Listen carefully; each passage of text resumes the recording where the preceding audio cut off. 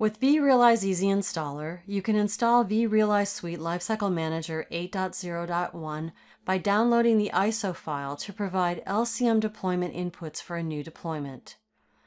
You're required to provide a new set of inputs for vIDM and vRealize Automation to install a new instance of vRealize Automation. Once you've configured vRealize Suite Lifecycle Manager, you can verify your Data Center, vCenter, and vRealize components. Let's first install the Easy Installer file from the My VMware download page. Browse to your local machine and click CD-ROM. Navigate to vrlcm-ui-installer and click the required operating system. In this video, let's select Win32. Click the installer file. This opens the vRealize Easy Installer wizard, which gives you two options, install and migrate. As we're covering the installation scenario in this video, let's click Install on the Welcome Wizard of Easy Installer. On the introduction screen, click Next. Read and accept the end user agreement. The Customer Experience Improvement Program is checked by default. Click Next. Enter the vCenter server host name or an IP address.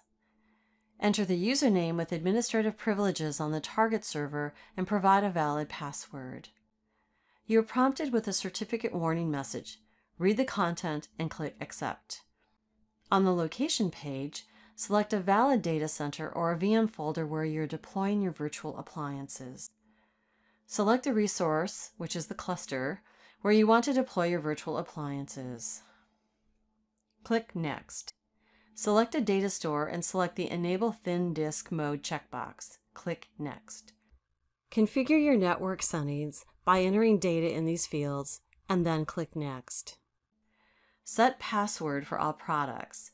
The password entered here acts as a root and an admin password for vRealize Suite Lifecycle Manager. The root password is also applicable for VRA. Click Next. Enter the appliance name, IP address, and host name.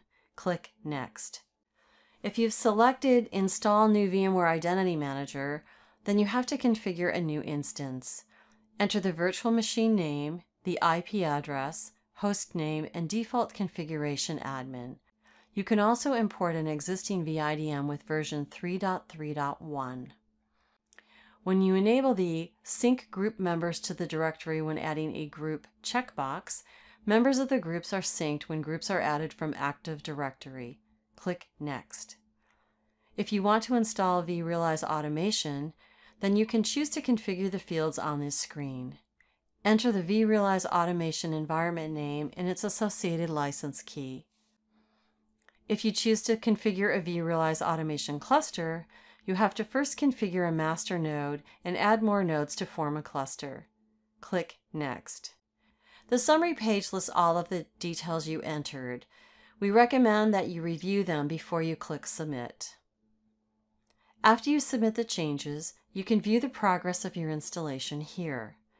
Once the action is completed, click on this URL or copy and paste it on a new browser. Enter the LCM user credentials to access the Lifecycle Manager UI. For more information on vRealize Easy Installer, go to docs.vmware.com.